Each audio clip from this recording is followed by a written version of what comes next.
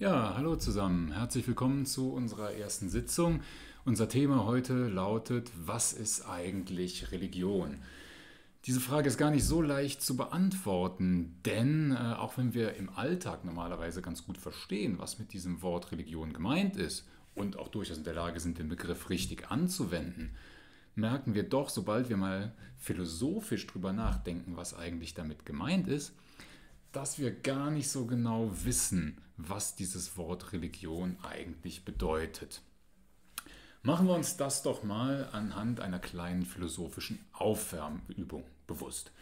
Ich nenne Ihnen jetzt eine Reihe von äh, Phänomenen und Sie überlegen sich, ob es sich bei dem jeweiligen Phänomen um eine Religion oder etwas Religiöses handelt oder nicht. Okay?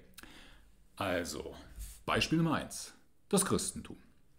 Okay, das ist jetzt relativ einfach. Ähm, ja, das Christentum ist eine Religion. Für die meisten von uns dürfte das auch die prototypische Religion schlechthin sein, also die Religion, ähm, die wir am besten kennen, ähm, die am ehesten das widerspiegelt, was wir mit dem Begriff Religion eigentlich meinen. Also ja, klare Sache, das Christentum ist eine Religion.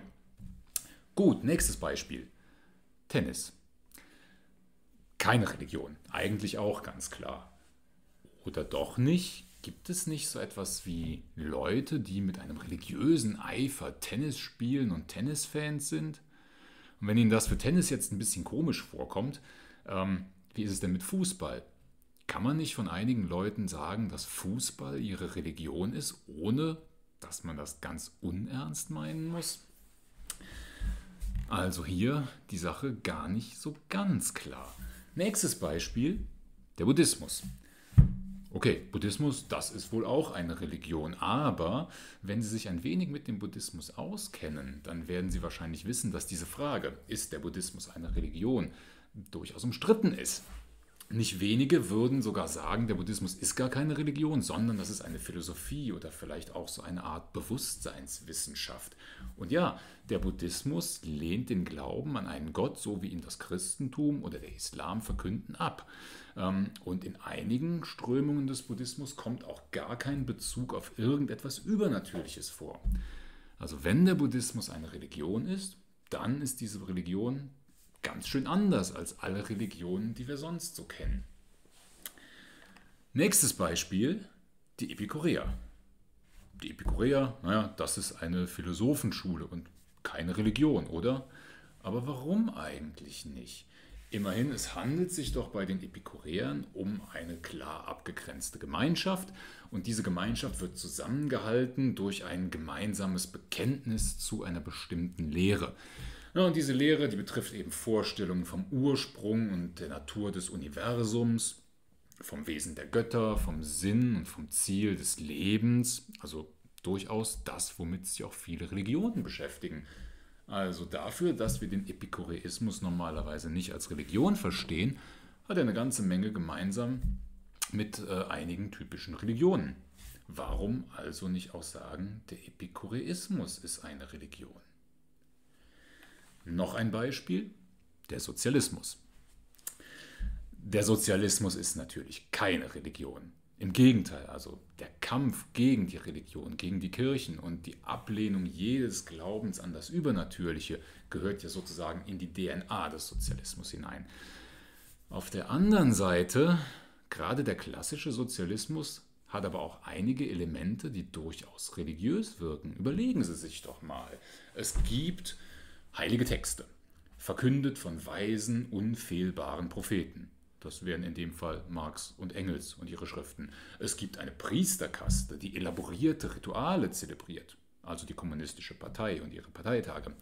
Und es gibt eine kosmische Mythologie von Fall und Erlösung. Es beginnt mit dem Urzustand, äh, die Urgesellschaft ohne jedes Eigentum. Dann kommt der Sündenfall, die Erfindung des Eigentums und dann Schritt für Schritt der Aufstieg hinauf ins Paradies der kommunistischen Gesellschaft. Also abgesehen von dem Glauben an das Übernatürliche finden wir eigentlich eine ganze Menge Dinge, die eigentlich nur Religionen ähm, in sich haben, im Sozialismus wieder. Könnte man daher nicht sagen, der Sozialismus wäre so etwas wie eine materialistische Quasi-Religion? Letztes Beispiel, Weihnachtsgeschenke. Und hier fängt die Sache an, langsam unklar zu werden. Also natürlich, einerseits ist Weihnachten ein christliches Fest und Weihnachtsgeschenke haben ihren Ursprung in einem religiösen Ritual. Bloß heutzutage haben Weihnachtsgeschenke ihren religiösen Charakter ja weitestgehend verloren. Das merken Sie daran, dass auch Menschen, die vollkommen unreligiös sind, sich gegenseitig sehr gerne Weihnachtsgeschenke machen. Und sie merken es ebenso daran, dass auch außerhalb christlicher Gesellschaften, in denen das Weihnachtsfest eigentlich gar keine Tradition hat, dieser Brauch, Weihnachtsgeschenke zu machen, äh, mittlerweile Fuß gefasst hat. Also handelt es sich hier überhaupt noch um ein religiöses Phänomen oder ist das mittlerweile vollkommen unreligiös geworden? Die Frage ist mehr als unklar. Nun, was wir jetzt an diesen verschiedenen Beispielen hier hoffentlich gesehen haben, ist, dass es gar nicht so schwer ist, unser intuitives Verständnis des Religionsbegriffs an seine Grenzen zu führen. Und hier kommt jetzt die Philosophie ins Spiel. Denn eine der wichtigsten Aufgaben der Philosophie besteht ja darin, Klarheit zu schaffen, also uns verständlich zu machen, was bedeuten eigentlich unsere Begriffe. Wir fragen uns jetzt also, was meinen wir, wenn wir von Religion sprechen und machen uns damit auf die Suche nach, na klar, einer Definition des Religionsbegriffs. Aber da fängt der Ärger schon an, denn es gibt keine allgemein anerkannte Definition des Religionsbegriffs. Und das ist so ziemlich der einzige Punkt, auf den sich alle Religionswissenschaften einigen können. Ähm, in manchen Fällen hilft es weiter, wenn man sich auf der Suche nach einer Definition in die Etymologie eines Wortes reinbegibt. Das heißt, wenn wir äh, seine Entstehungsgeschichte zurückverfolgen. Schauen wir mal, wohin uns das führen wird bei unserem Begriff Religion. Also, unser deutsches Wort Religion stammt vom lateinischen Wort religio ab. Ähm, dieses Wort religio wird schon in klassischer römischer Zeit von Cicero auf das äh, Verb relegere zurückgeführt. Relegere, das bedeutet wörtlich etwas sorgfältig beachten. Gemeint ist jetzt hierbei äh, die sorgfältige Beachtung der rituellen Vorschriften in der kultischen Verehrung der Götter oder das sorgfältige Beachten ihres Willens für Cicero ist also das richtige Handeln, die richtige Praxis das Entscheidende an der Religion und nicht der Glaube. Also die Idee, dass Religion was mit Glaube zu tun haben könnte, steckt in dem ursprünglich lateinischen Begriff für den Cicero gar nicht drin. Religion ist das achtsame, das korrekte Verhalten den Göttern gegenüber. Allerdings Ebenfalls schon in der Antike schlägt der christliche Philosoph Lactanz eine andere Etymologie vor, nämlich von religare, Religare bedeutet wörtlich zurückbinden und die Idee ist hier, dass die Seele, die von Gott getrennt ist, durch die Religion, also durch den Glauben jetzt, äh, zurückgebunden wird an Gott. Daran sehen Sie schon, es ist gar nicht klar, was die ursprüngliche Bedeutung des Wortes Religion oder Religio eigentlich ist. Ähm, und selbst wenn es uns gelingen sollte, die Frage nach der Etymologie eindeutig zu beantworten, ja, dann hilft uns das leider auch nicht wirklich weiter, denn dann wüssten wir ja lediglich, was die Römer mit Religio gemeint haben. Aber es gibt ja keinen Grund dazu anzunehmen, ähm, dass unser Begriff Religion, unser heutiger Begriff Religion, das gleiche bedeuten müsste wie der römische Begriff, nur weil beide eine ja, äh, gleiche Wurzel haben, also aus dem gleichen äh, ursprünglichen Wort stammen. Ähm, und und äh, das Wort Religion hat auch im Lauf seiner äh, langen Geschichte durchaus einige Entwicklungen durchgemacht. Ähm, in der christlichen Antike äh, wandelt sich die Bedeutung langsam von der korrekten äh, Praxis der Verehrung der Götter hin zu der Bedeutung der wahre Gottesglaube. Von Augustinus beispielsweise gibt es eine Schrift, die heißt De Vera Religione, also die wahre Religion. Augustinus meint damit nicht die eine wahre Religion unter den vielen falschen, denn ein Plural von Religionen kennt man in dieser Zeit noch gar nicht. Also es gibt nicht die Vorstellung von einer Vielzahl von Religionen. Gemeint ist damit eher, worin besteht eigentlich der wahre Gottesglaube? Ähm, Im Mittelalter ja, kommt dann der Aspekt äh, der richtigen Lebensführung vor allen Dingen heraus im Religionsbegriff. Ähm, und damit ist insbesondere die monastische Lebensform gemeint, also das Leben im Kloster. Religiosi, das sind dann die Mönche und die Nonnen. Erst mit der Reformation und dem Beginn der Neuzeit fängt dann der Begriff Religion langsam an, so die Art von Bedeutung anzunehmen, die er auch für uns heutzutage hat. Ähm, einerseits kommt insbesondere nach der Reformation und mit Luther äh, der Aspekt der Innerlichkeit, des Glaubens hinzu. Ähm, und andererseits, spätestens ab so etwa dem 17. Jahrhundert, äh, erlaubt der Begriff Religion auch einen Plural. Das heißt, mittlerweile kann man von verschiedenen Religionen sprechen und sagen, es gibt die Religion des Christentums, des Judentums, des Islam und so weiter und so fort. Also die Bildung eines abstrakten Oberbegriffs von Religion, unter den dann die einzelnen konkreten Religionen fallen können, ist eigentlich erst so im Lauf der Neuzeit, spätestens bei der Aufklärung abgeschlossen. So, das heißt, der Religionsbegriff, so wie wir ihn heute kennen und verwenden, ist eindeutig ein Produkt der europäischen Geistesgeschichte und seine Entwicklung ist nicht zu trennen von den spezifischen historischen und kulturellen Bedingungen, unter denen er sich im, in Klammern, christlichen Abendland entwickelt hat. Wie ist es denn dann, wenn wir versuchen, diesen Begriff über seinen ursprünglichen Entstehungskontext hinaus anzuwenden? Wir gehen ja eigentlich davon aus, wenn wir von den Religionen der Welt sprechen, dass es Religionen nicht nur im Westen gibt, sondern auch anderswo auf der Welt. Und dass das, was wir anderswo auf der Welt vorfinden, auch unter diesen Begriff gefasst werden kann. Gibt es denn Religion in anderen Kulturen? Nun, die Wahrheit ist ziemlich kompliziert, denn wenn wir genauer hinschauen, stellen wir schon fest, dass selbst innerhalb des Westens und der westlichen Kultur der Religionsbegriff nicht überall anzutreffen ist. Schauen wir mal ins antike Griechenland. Ähm, wir werden feststellen, dass selbst dort, in Griechenland, was unbestreitbar ein wichtiger Bestandteil der westlichen Kultur ist, kein eindeutiger Religionsbegriff vorhanden ist. Es gibt verschiedene Begriffe. Auf der einen Seite finden wir hier die Eusebeia, das bedeutet die Ehrfurcht oder die heilige Scheu oder den Respekt, den man den, gegen, äh, den, man den Göttern gegenüber empfindet.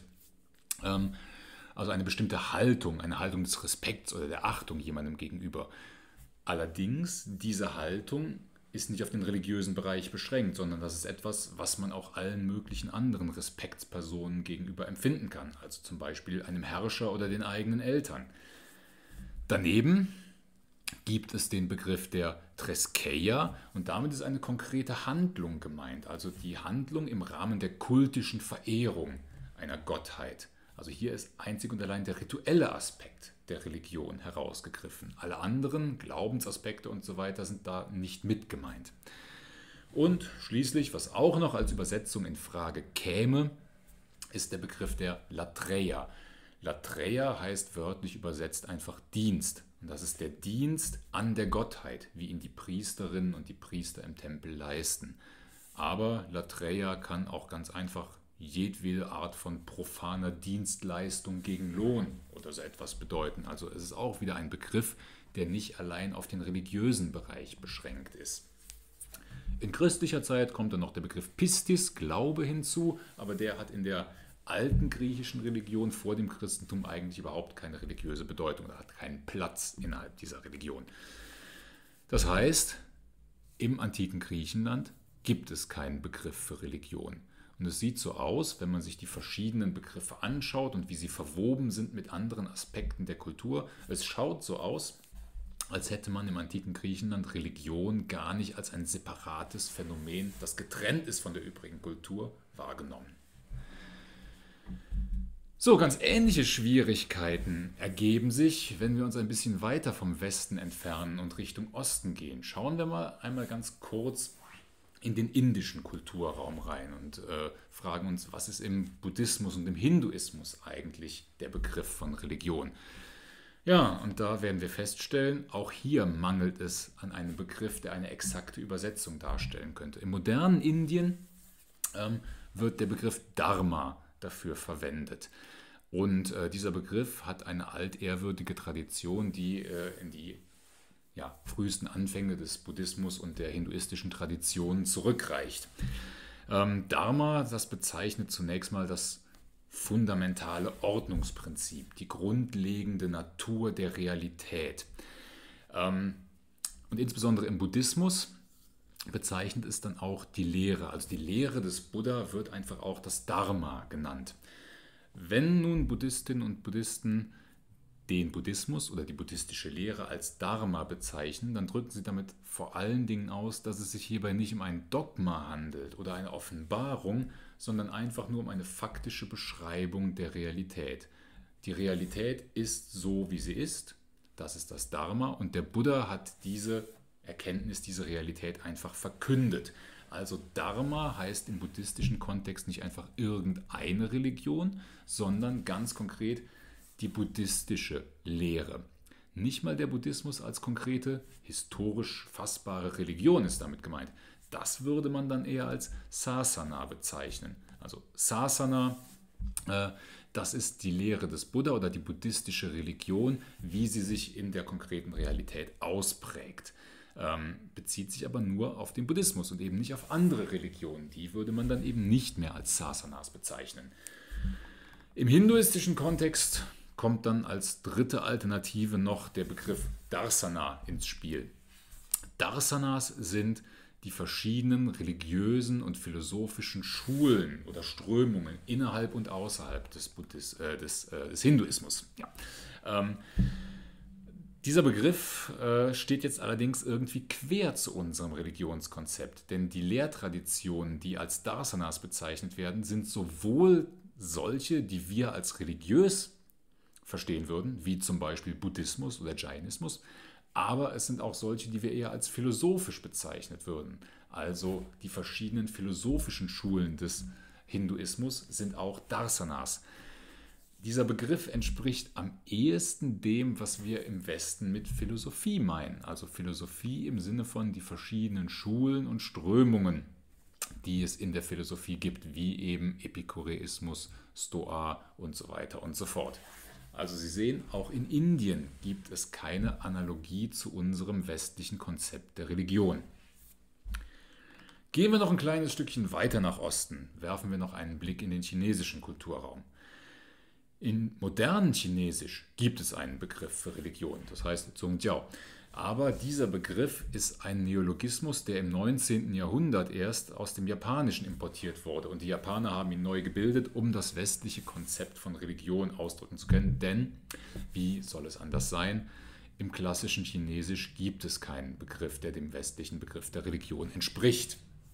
Ähm, es gibt eine ganze Reihe von Begriffen, die ähnliche Bedeutungen haben, ähnliche Funktionen erfüllen. Da wäre zum einen das Wort Ji das die rituellen Opfer bezeichnet, die für die Götter, die Geister und die verstorbenen Ahnen gemacht werden. Ähm, aber dieser Begriff erfasst natürlich wieder nur die rein praktische Seite der Religion. Ähm, eng verwandt damit das Konzept von Li. Li ist ursprünglich auch eigentlich das Ritual, aber meint dann sehr bald die dem Ritual angemessene Geisteshaltung, also eine Haltung der äh, Frömmigkeit und dann auch das formelle, das sittliche, das höfliche Verhalten. Äh, wiederum ein Begriff, der vorwiegend den praktischen Aspekt bzw. die auf die Praxis bezogene Geisteshaltung bezeichnet. Nun nimmt allerdings dieser Begriff des Li gerade im Konfuzianismus eine abstraktere Bedeutung an, die eigentlich keine religiöse äh, Funktion mehr hat. Also der Begriff Li bedeutet dann vor allen Dingen eine moralische Haltung. Schließlich noch letzte Alternative, das Wort Dao. Dao ist ein sehr, sehr vielschichtiger Begriff, der wortwörtlich eigentlich der Weg bedeutet.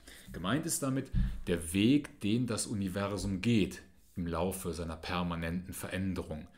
Und abgeleitet davon meint es auch die Natur eines Wesens oder die Natur eines Menschen, äh, mit der man in, sich im Einklang befinden kann. Dann ist es allerdings auch das Dao die Lehre einer bestimmten Person. Und da trifft es sich ein bisschen mit unserem Begriff der Religion. Das heißt, der Konfuzianismus, die konfuzianische Religion, könnte man im Chinesischen bezeichnen als das Dao des Konfuzius.